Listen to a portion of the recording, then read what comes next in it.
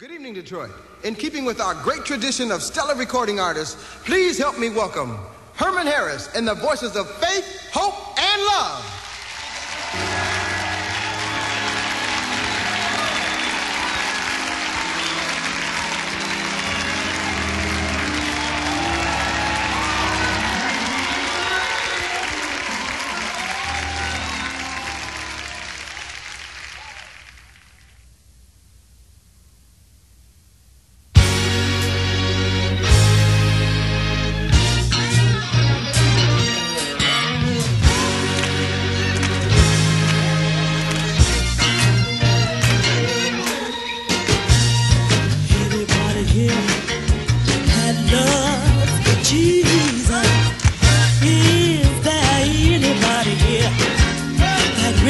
I wanna know.